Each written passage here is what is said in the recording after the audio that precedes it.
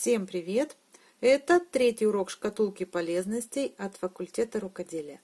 В этом уроке мы научимся вязать изнаночные петли, поговорим о том, как провязываются кромочные петли и разглядим поближе изнаночную и лицевую гладь.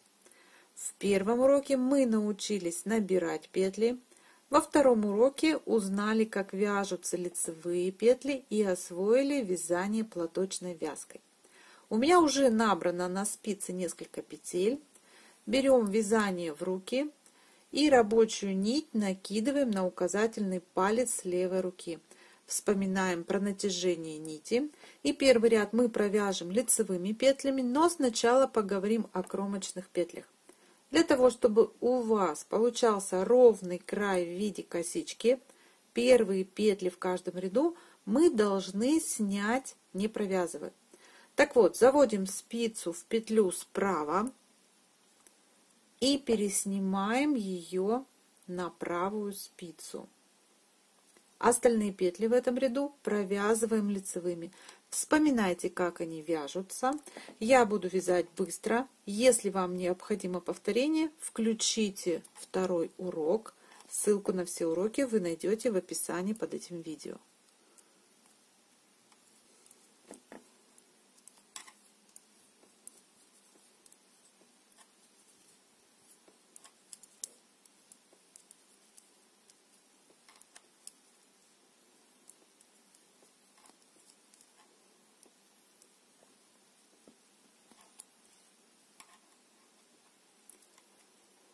Обратите внимание, последняя петля в ряду также является кромочной петлей.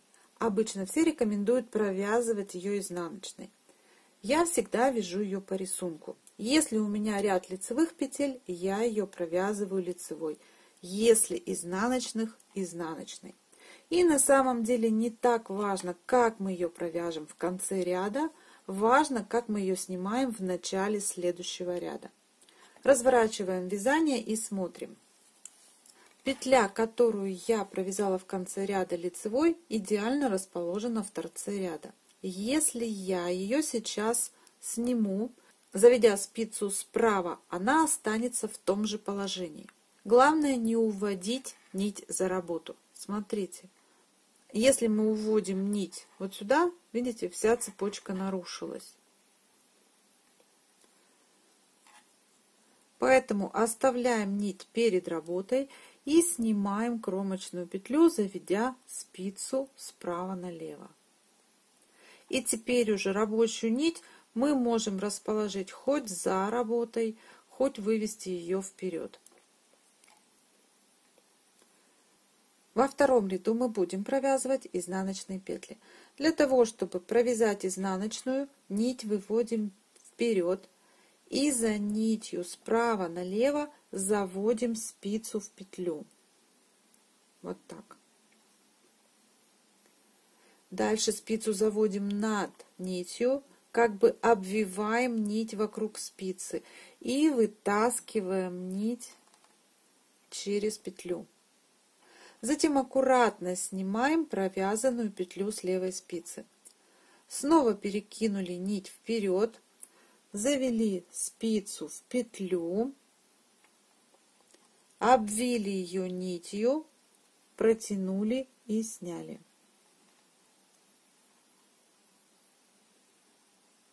Смотрите, чтобы уменьшить амплитуду движения спицы, я делаю вот такое вспомогательное движение. То есть, когда мы завели спицу, указательным пальцем помогаем обвить нить.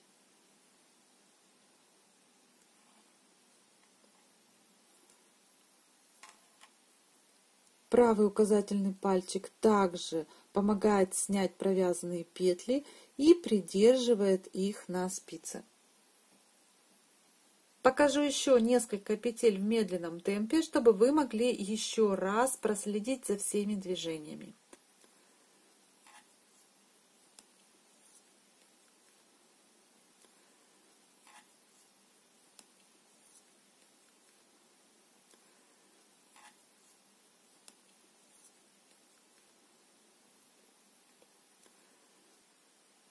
А вот так быстро вы сможете вязать, когда придет немного опыта.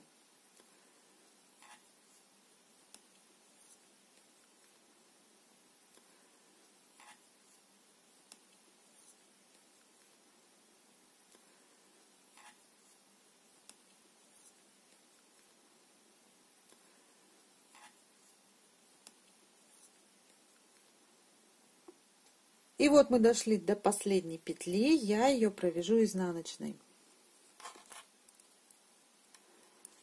Теперь смотрите, с этой стороны у нас начинает проявляться изнаночная гладь. Рисунок ее состоит из множества бугорков, и она очень похожа на платочную вязку. Иногда их даже путают. Но платочная вязка отлично тянется и вяжется только лицевыми петлями а изнаночная гладь наиболее плотная, тянется плохо и вяжется попеременно лицевыми и изнаночными рядами. Если мы перевернем образец, то с лицевой стороны увидим лицевую гладь. В отличие от изнаночной, с этой стороны полотно получается гладким и ровным, и оно будет называться лицевая гладь.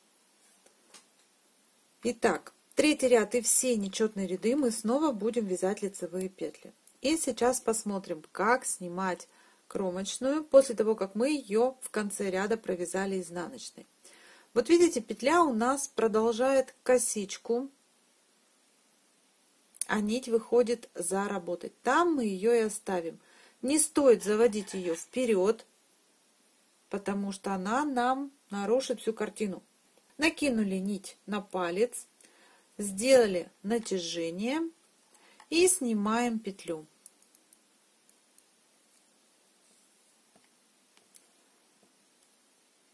При этом петля получается перекрещенная, но мне это как раз нравится.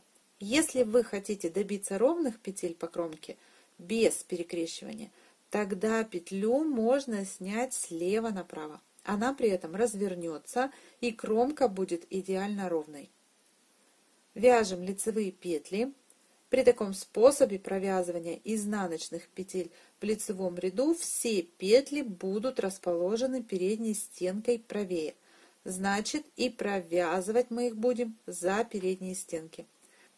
В одном из следующих уроков мы с вами обязательно разберем, почему петли могут разворачиваться и какие способы их провязывания существуют.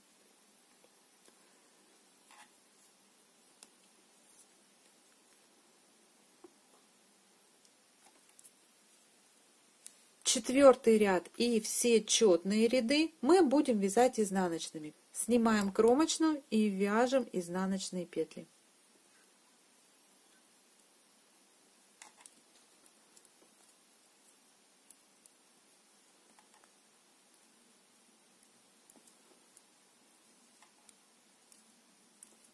Итак, я провязала несколько рядов. Теперь более наглядно можно увидеть рисунок на образце.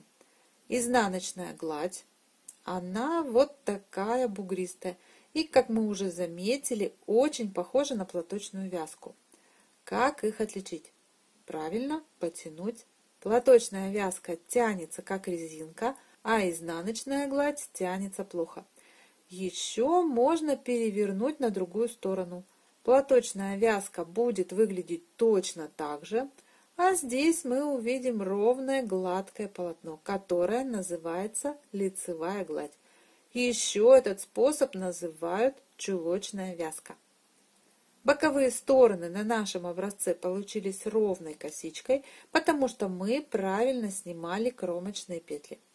Вы, наверное, уже заметили, что вдоль набранного края полотно скручивается в трубочку – и это еще одна отличительная черта чулочной вязки.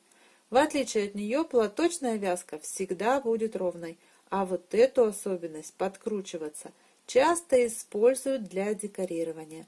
Специально провязывают некоторые детали по краю лицевой гладью, чтобы получился закрученный в трубочку край. А если такое скручивание вам не нужно – Тогда вначале надо провязать несколько рядов резинкой или платочной вязкой. На сегодня урок окончен. Надеюсь, что вам были понятны мои объяснения. На следующем уроке мы освоим с вами вязание резинкой.